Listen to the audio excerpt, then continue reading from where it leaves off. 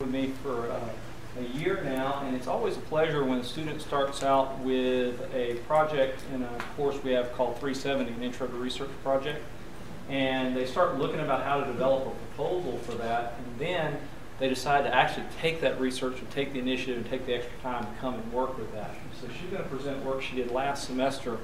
Did a lot of work getting all this uh, experiments out, looking at the effects of acetaminophen and caffeine. So I will turn it over to Kameron.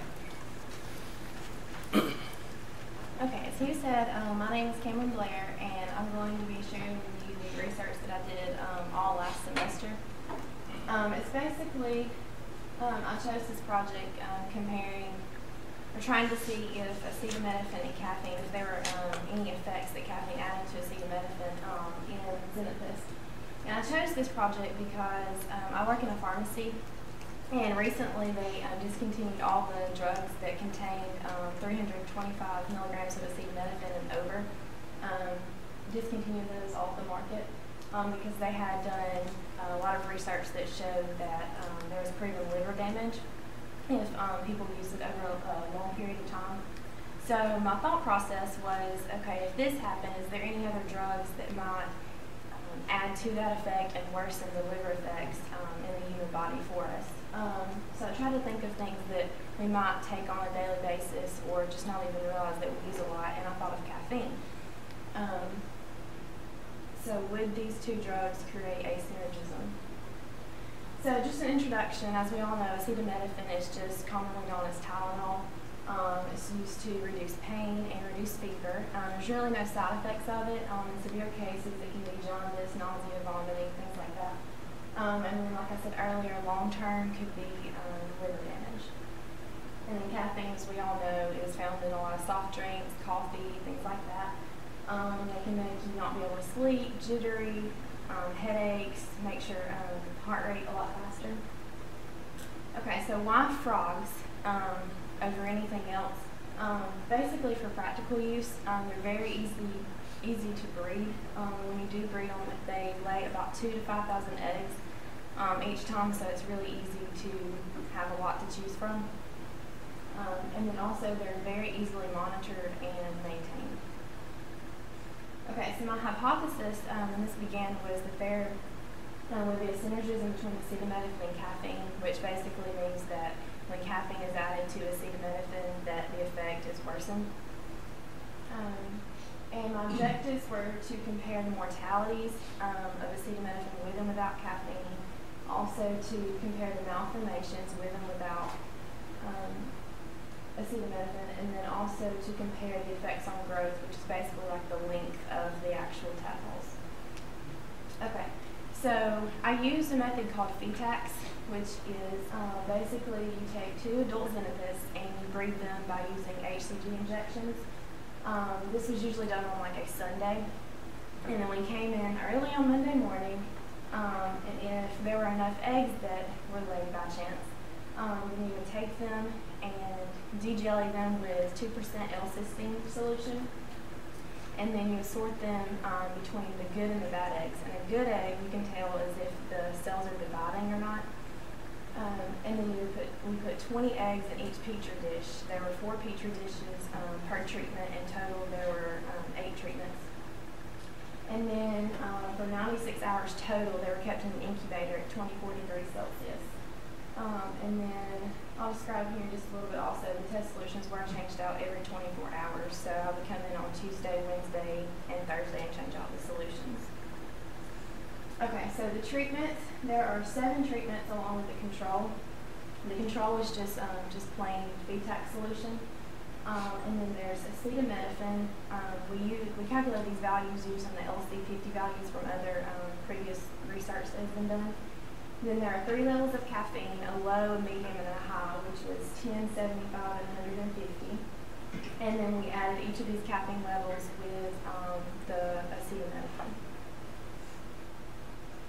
Okay, so after I did all the research, what I would do is I would come in every day and record how many um, how many, basically how many tadpoles had died every day.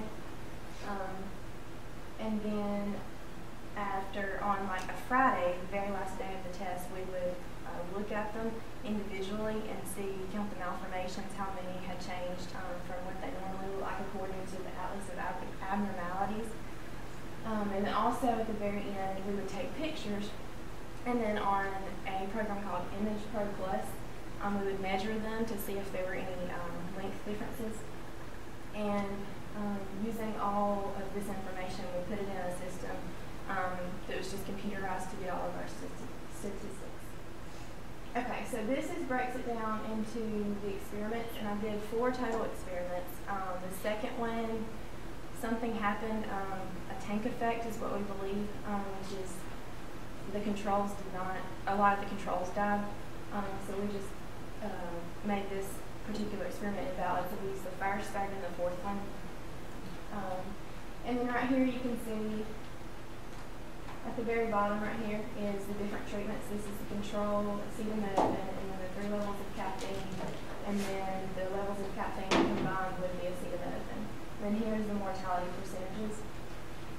Um, as you can see visually, this is the one that we're comparing everything to. And you can see there's a definite increase in mortality once you add the high level of caffeine. So the overall for mortality was that there was a synergism between the plain acetaminophen and then once you added the high level of caffeine, and then also there was a slight antagonism between the middle, between the plain acetaminophen and the middle level of caffeine, which you can see right here. How it kind of slightly goes down from the low level, right there. And then this is just an overall um, of all of the experiments combined. Um, you can just see here how that definitely, there's a statistical difference in that. Okay, so malformation, um, basically everything was malformed overall. Um, so there's really no statistical difference in that, but you can definitely tell um, trends between how they are malformed. And basically in caffeine, you see a lot of hemorrhaging, which I'll show pictures um, momentarily. And then also in acetaminophen, you had um, tail malformations, which they just basically look crooked. Um, and then you have edema, and then just swelling and a loose gut pool. And then when they're combined, you have basically just a combination of all of that. And some of them, they barely look even alive. Okay, so here is a normal looking tadpole with a tight gut pool and then no difference in the tail, straight. Um, and then you can't really tell it on this picture, but there's hemorrhaging right there. You can see red. Um, and that's when the levels of caffeine that increased as the caffeine increased. And then here you can start to see where the tail, when acetaminophen is in it, um, the tails are a little bit crooked. Um, and then their gut and their stomach start uh, falling apart. And then as caffeine is added, you can see how they get worse and worse. Okay, so like I said, um, malformation, you really can't tell a statistical difference, um, but there are trends that go along with that. In length, there was no statistical difference that we found, uh, but we did find a definite trend in it. Um, there weren't really, really enough um, tadpoles that survived in the high levels of caffeine and acetaminophen for us to really be able to measure that. Um, but we did find that the the higher the caffeine level with acetaminophen, the shorter the tadpoles were. Some overall conclusions um, that we gathered from this was there was a definite synergism between the plain acetaminophen and the acetaminophen with the high levels of caffeine. Um, and then there was an overall trend in the length. And in future studies from this, um, there's a couple of different ways I could go about this, um, but this later on this semester, um, I plan to do one of the two. Um, one is like a prolonged study um, over maybe two or three months, where every two weeks I come in and inject um, the two drugs, and then at the end um, sacrifice the frog, and then I can be able to examine the liver and see if there's any change in that. Um, and then there's also um, to where I can tell where I can inject different levels of caffeine other than those three in order to determine where the antagonism switches over to the synergism um, between the 75 and the 150 levels of caffeine. Um, so I don't really know which way I'm going to go with that, but there are a couple different options there. And I definitely like to thank Dr. Rayburn.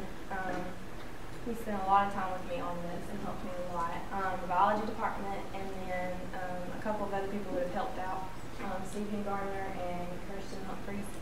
Um, they've helped sort a lot of eggs. they helped me move really well. But thank you. Any questions?